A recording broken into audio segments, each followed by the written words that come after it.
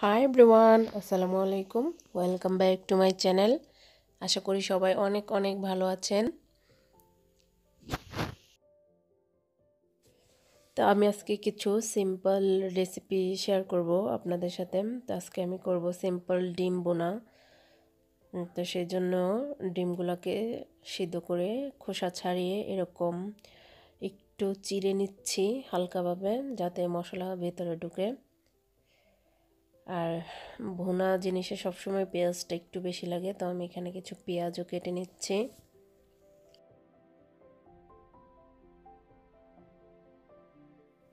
আর আজকে বাহিরের ওয়েদারটা খুবই মানে ঠান্ডা, আকাশও অনেক মেঘলা, বৃষ্টি হবে, এরকম একটা অবস্থা।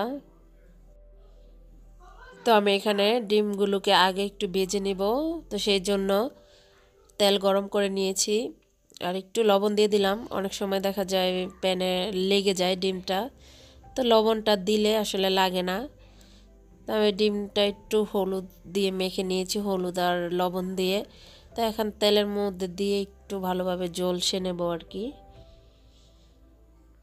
তো আমি এখানে ওই তেলে আর একটু তেল অ্যাড করে আস্ত জিরার ফোড়ন দিয়ে দিচ্ছি। আর এখানে পেঁয়াজগুলো দিয়ে ভালোভাবে পেঁয়াজগুলোকে ভেজে নেব। এখানে লবণও দিয়ে দিলাম, যাতে তাড়াতাড়ি পেঁয়াজগুলো নরম হয়ে যায়। তাই তো আমি একটু পানি দিয়ে দিয়েছিলাম পেঁয়াজে, আর এক চা চামচ আদা দিয়েছি, আদা বা রসুন বাটা। এখন আমি এখানে গুঁড়া মশলাগুলো দিয়ে দিচ্ছি হলুদ, মরিচ আর ধনিয়া গুঁড়ো। জিরা গুঁড়ো আমি দেইনি, কারণ আমি আস্ত জিরা দিয়েছি। তো মশলাগুলোকে ভালোভাবে এখানে কষিয়ে নেব। এই যে এখানে মানে মশলা থেকে তেলটাও উপরে চলে আসছে, তো এখানে আমি টমেটো কেটে নিয়েছি একটা, এরকম ছোট ছোট টুকরা করে। টমেটোগুলোকেও এই মশলার সাথে ভালো করে মিশিয়ে তারপর কষিয়ে নেব।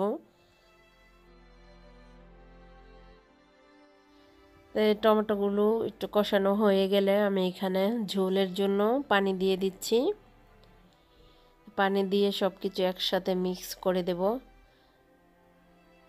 তাই তো আমি কিছুক্ষণ ঢেকে রান্না করেছিলাম। ঝোলটা এখন অনেকটাই কমে এসেছে। তো এই পর্যায়ে আমি ডিমগুলোকে দিয়ে দেব।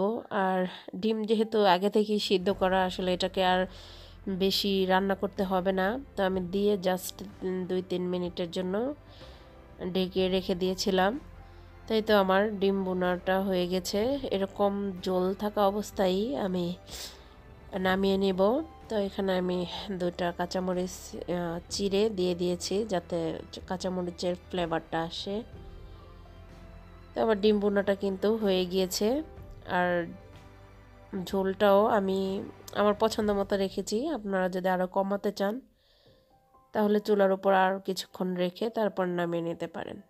আর বাহিরে যেহেতু বৃষ্টি হচ্ছিল, তো ভাবলাম যে খিচুড়ি রান্না করি বোনা খিচুড়ি রান্না করব আমি এখন। এইখানে তেল গরম করে আমি কিছু গরম মশলা দিয়ে দিলাম আর আস্ত জিরা দিয়ে দিয়েছি এইখানে তো জিরা দিয়ে এখানে পেঁয়াজও দিয়ে দিলাম। পেঁয়াজটাকে ভালোভাবে তেলের মধ্যে ভেজে নেব। তারপর পেঁয়াজগুলো ভাজা হয়ে আসলে একটু, আমি এখানে আদা, রসুন বাটা দিয়েছি, এক টেবিল চামচের মতো।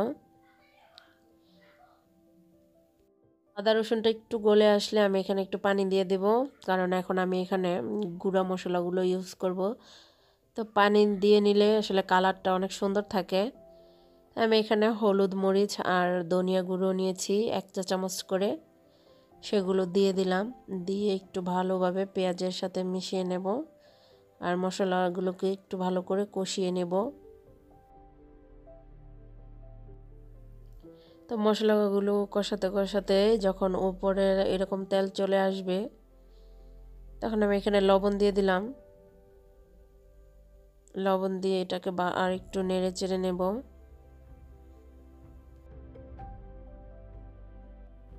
এই যে মশলা থেকে কিন্তু তেলটা উপরে চলে এসেছে। তো এখানে আমি দুই রকমের ডাল মশারি ডাল আর মুগ ডালটা। মুগ ডালটা আমি একটু ভেজে নিয়েছিলাম। তো এখানে দিয়ে ধুয়ে আমি একটু পানি জড়ানোর জন্য রেখেছিলাম। তো আমি একটু ডালগুলোকে আগে রান্না করব। কারণ অনেক সময় দেখা যায় চালটা আগে সিদ্ধ হয়ে যায়, ডালটা সিদ্ধ হতে চায় না। তো সেক্ষেত্রে আমি ডালটাকে আগে একটু সিদ্ধ করে নেব এরকম পানি দিয়ে। তো এই যে আমার ডালটা মোটামুটি অল্প একটু সিদ্ধ হয়েছে। আমি এই পর্যায়ে চালটাও দিয়ে দিব ডালের সাথে। চালটাকে দিয়ে ভালোভাবে সব মশলার সাথে মিক্স করে চালটাকে কিছুক্ষণ ভেজে নেব। আসলে ভাজা হয়ে গেলে বোঝাই যাবে যে চালটা অনেক ঝরঝরে হয়ে গিয়েছে। এই তো চালের কালারটাও কিন্তু চেঞ্জ হয়ে গেছে, তো আমি এখানে পানি দিয়ে দিচ্ছি। আর পানির পরিমাপটা হচ্ছে যতটুকু চাল আর ডাল তার ডবল পানি। আর খিচুড়ির মশলাগুলো একটু কম মনে হচ্ছে, আমি একটু কমই দিয়েছি যেহেতু আমার বাচ্চারাও খাবে। আর আমি বাচ্চাদের জন্য দেখা যায় আলাদা কোনো খাবার রান্না করি না, আমরা যা খাই তা থেকেই ওদেরকে দেই। কারণ এটা একটা ঝামেলাও হয় অনেক সময় যে বাচ্চাদের জন্য একটা আলাদা খাবার, নিজেদের জন্য একটা আলাদা। মানে অনেক সময় অনেক কাজ থাকে, সব সময় হয় না। তো আমি সবসময় চেষ্টা করি, আমরা যা রান্না করি বড়দের জন্য তা থেকেই দেওয়ার জন্য আর মশলাটা একটু কম ইউজ করি। তাই তো আমার খিচুড়ির পানিটাও কিন্তু টেনে এসেছে। আমি এর মধ্যে ঢেকে দিয়েছিলাম। নাড়াচাড়াও করে দিয়েছি দু একবার। তো এখন আমি খিচুড়িগুলোকে এরকম একটু চেপে চেপে দিয়ে তারপরে চুলার আঁচটাকে একবারে লো হিটে দিয়ে ঢাকনা দিয়ে ঢেকে রেখে দেব কিছুক্ষণের জন্য।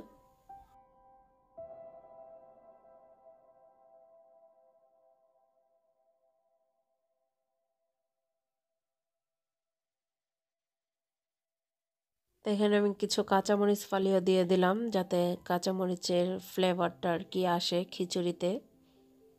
যেহেতু আমি এখানে মরিচের গুঁড়াটা কম ইউজ করেছি, একটু কাঁচামরিচের জালটাও হলে ভালোই হবে। তো আমি এখন এরকম চেপে চেপে খিচুড়িটাকে রেখে তারপর আমি ঢাকনা দিয়ে ঢেকে দেব। তো খিচুড়ির সাথে একটু সালাদ হলে কিন্তু খারাপ হয় না। তো আমি এখানে কিছু সালাদ বানিয়ে নেব।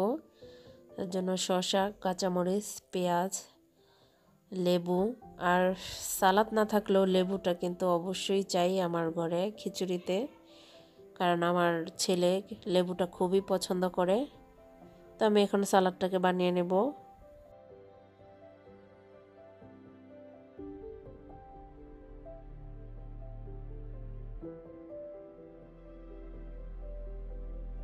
আমার রান্না তো হয়েই গিয়েছে।